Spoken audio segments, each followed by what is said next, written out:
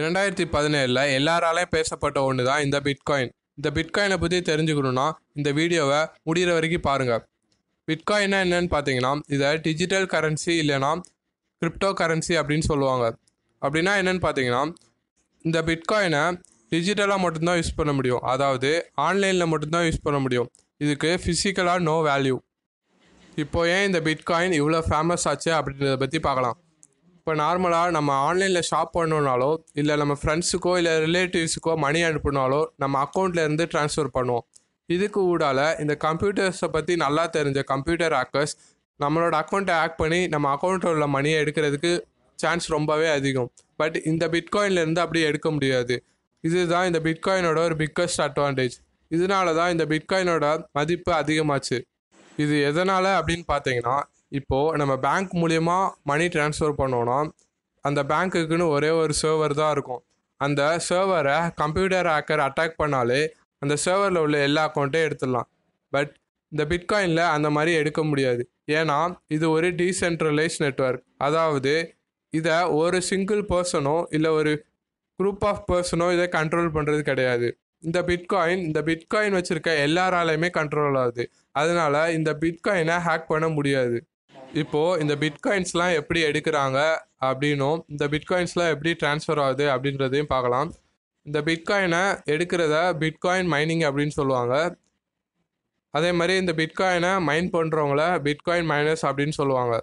இந்த bitcoin mining எப்படி பண்ணுறாங்கன்னு பார்த்தீங்கன்னா ஒரு மேக்ஸ் ப்ராப்ளம் சால்வ் பண்ணுறது மூலியமாக அதுக்கு ரிவார்டாக சம் அமௌண்ட் ஆஃப் பிட்காயின் தருவாங்க. அந்த மேக்ஸ் ப்ராப்ளம் அவ்வளோ ஈஸியாக இருக்காது. ஹியூமன்ஸால் அதை சால்வ் பண்ண முடியாது. அதை சால்வ் பண்ணுறதுக்கு அதிகமாக கம்ப்யூட்டர் ரிசோர்ஸஸ் தேவைப்படும். இப்போது இந்த பிட்காயின் டிரான்சாக்ஷன்லாம் எப்படி நடக்குதுன்னு பார்த்தீங்கன்னா இந்த பிட்காயின் மைனஸ் தான் அதுக்கு இன்டைரக்டாக ஹெல்ப் பண்ணுறாங்க அதாவது இந்த பிட்காயின் மைனிங் மூலியமாக தான் இந்த பிட்காயின்லாம் டிரான்சாக்ஷன் ஆகுது. அதுக்கு ஹெல்ப் பண்ணுற பிட்காயின் மைனர்ஸ்க்கு ரிவார்ட்ஸாக தான் சம் அமௌண்ட் ஆஃப் பிட்காயின்ஸ் தராங்க. இப்படியே இந்த பிட்காயினை மைன் பண்ணிக்கிட்டே இருக்கலாமா அப்படின்னா அதுவும் கிடையாது. ஒன்று இந்த பிட்காயினை மைன் பண்ணுறதுக்கு ரொம்பவே செலவாகும். எலக்ட்ரிசிட்டி காஸ்ட் கம்ப்யூட்டர் ரிசோர்ஸஸ் நிறையா செலவாகும். இன்னொன்று இந்த பிட்காயினை டுவெண்ட்டி ஒன் மில்லியன் வரைக்கும் தான் எடுக்க முடியும் அப்படின்னு சொல்லியிருக்காங்க. இப்போதைக்கு மார்ச் டூ தௌசண்ட் நைன்டீன் வரைக்கும் செவன்டீன் மில்லியனுக்கு மேலே பிட்காயின் எடுத்துட்டாங்க. அப்போது டுவெண்ட்டி ஒன் மில்லியன் வரைக்கும் தான் நம்மளால் எடுக்க முடியும். முதல்ல இந்த பிட்காயின் எங்கே யூஸ் ஆச்சுன்னு பார்த்தீங்கன்னா இந்த பிட்காயினை யாருக்கு அனுப்புகிறோம் அப்படின்ற தெரியாத காரணத்தினால இந்த பிட்காயின் டார்க் வெப் இல்லீகல் ஆக்டிவிட்டீஸ்க்கெலாம் அதிகமாக யூஸ் ஆச்சு.